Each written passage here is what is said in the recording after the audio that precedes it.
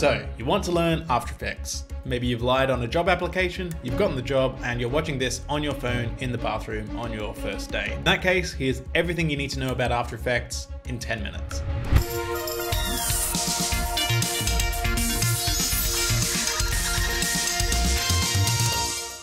Here is what After Effects looks like. If it looks like this, your boss isn't paying you enough. Here on the left, we've got our project panel. Here we can drag and drop all of our assets, our images, our videos, and anything that we'll be using. If you want someone to think you're a pro, keep this organized and use folders.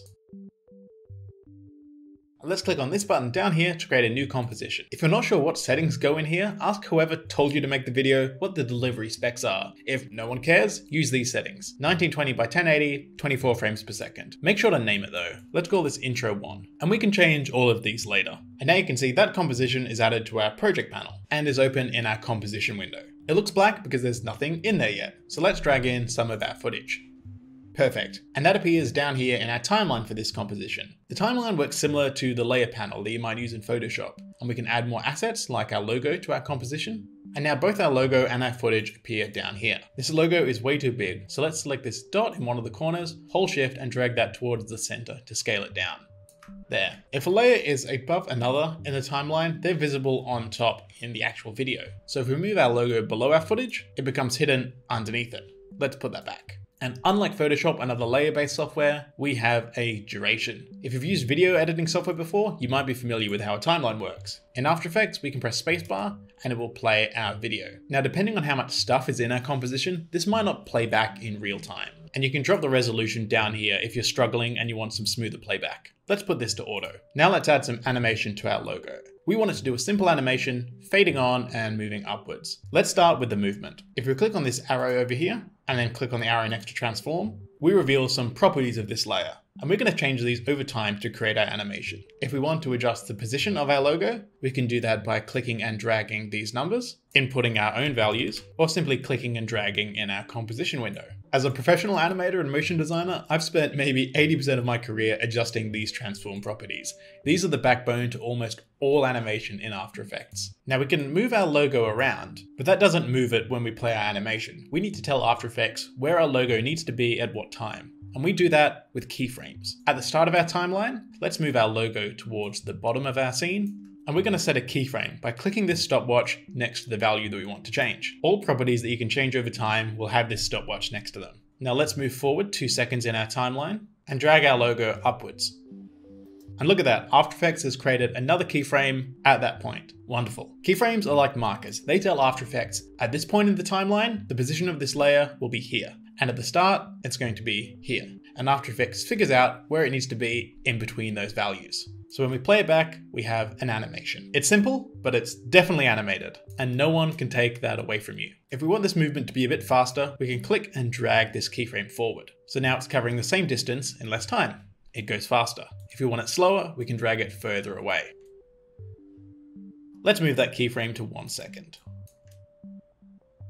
Now our logo's motion comes to a pretty harsh stop when it reaches the top here, and that doesn't look very natural. In the real world, objects accelerate and decelerate when they start and stop moving, and that's really easy to add in After Effects. We can select these keyframes and press F9 on our keyboard, which is the shortcut for Easy Ease. You can also find that by going up to Animation, Keyframe Assistant, and Easy Ease here, if it's difficult for you to press F9 on your keyboard. And now the symbol for our keyframes has changed. They have this hourglass shape now, which lets us know that easing has been applied to them. So now when we play it back, there's some acceleration and deceleration in the movement, and it just feels a little more natural, easing into its final position. And it was easy, easy ease. You'll be using that a lot in After Effects. Here's what easy ease keyframes look like compared to the linear ones that we started with. Both animations last two seconds, but the one with easing varies its speed and feels more natural. Now let's fade on our logo by keyframing its opacity at 100%. Moving our playhead to the start of our timeline, let's drag that down to zero, and now it will fade on. Let's select those and add easing easing with F9. There, wonderful. If you want to adjust how much these properties are easing, you can select them and click this button here to open up the graph editor. And here we can see an easing curve and you can mess around with these to create more or less easing to your animation. It's a really powerful technique, but maybe not for your first day. Let's click this again to go back to our timeline view. And when our timeline gets a bit too crowded, we've got all this info that we don't need about our scale and rotation. What we can do is press U on our keyboard, and that will hide every property that isn't keyframed. Very useful. And you can hide these again by pressing U and keep pressing U to cycle them on and off. You can also open up the transform properties with keyboard shortcuts too. When the layer is selected, clicking S brings up the scale property, R brings up its rotation, P its position, and T its opacity. Our animation is looking wonderfully competent, but like all good motion graphics, we need some text to tell whoever's watching our video either what to think or what to buy. So let's select the text tool from up here in our toolbar. We've also got some other tools to draw shapes. We can draw ellipses, rectangles, and we even have a hand tool so we can move our composition window around if we need to. And with the text tool selected, we can simply click and start typing. I'm going to select the arrow tool and then move that towards the middle.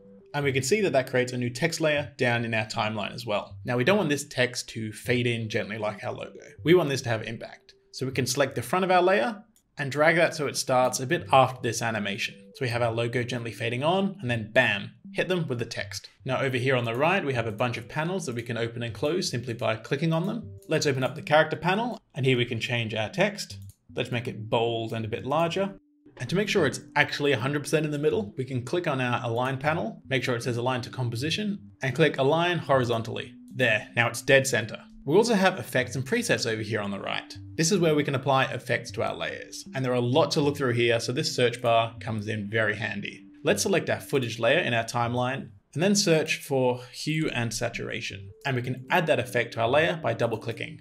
You'll notice that that opens up our effects control panel over here on the left. We can always navigate back to our project panel by clicking it up here, and you can swap between them like this. Here we can make changes to our effect. We can drag the hue to change the color values of our layer, but what we want to do in this situation is drag down the saturation to make it black and white. Let's also decrease the lightness as well to make this white text just a bit more readable. There. Now, we might need to use this logo and text animation on top of some different footage. To do that really easily, we can pre-compose it. So let's select both our logo and our text layer, go up to layer, and select pre-compose. And let's call that logo and type and click OK. Now you'll see in our timeline that those two layers have become one composition. And you'll see that composition is now added into our project panel as well. Logo and type, which is what we've just created. We can double click on that and it will open up and we can see that that just contains our logo animation and our type. Let's go over and create a new comp quickly in our project window.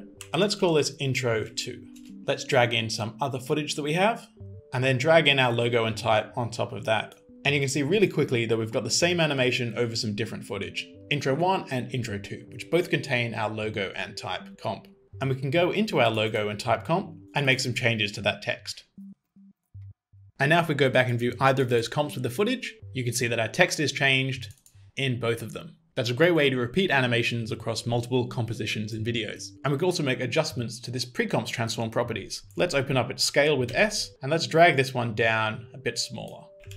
So now intro 1 has this logo and type, but it's much smaller than it appears in logo 2, which is still the same size. Now, we're happy with our amazing animations, let's render it out. So with the composition open that we want to render, we can click up in composition and add to render queue. And now our timeline is changed to our render queue. We can leave render settings set to best settings because I mean, they're the best settings. Output module, we do want to change though. So let's click on lossless, change the format from AVI to QuickTime, and change the format option to Apple ProRes 422 HQ and click OK.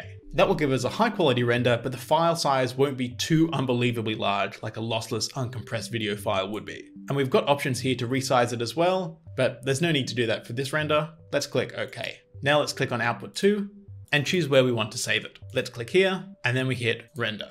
This might take a moment and when this bar fills up, we're done.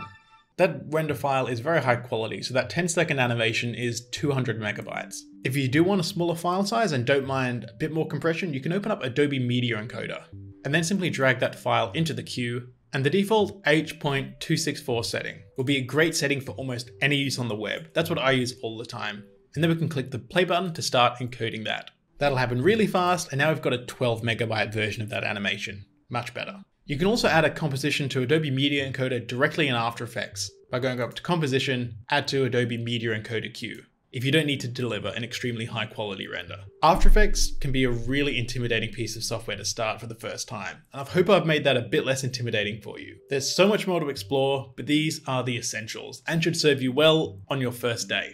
Good luck. To discover the best ways to learn motion design, I've created a short playlist of videos that I think you'll enjoy if you've made it this far. Please like the video and consider subscribing if you'd like more of these videos every week. I'll see you in the next video.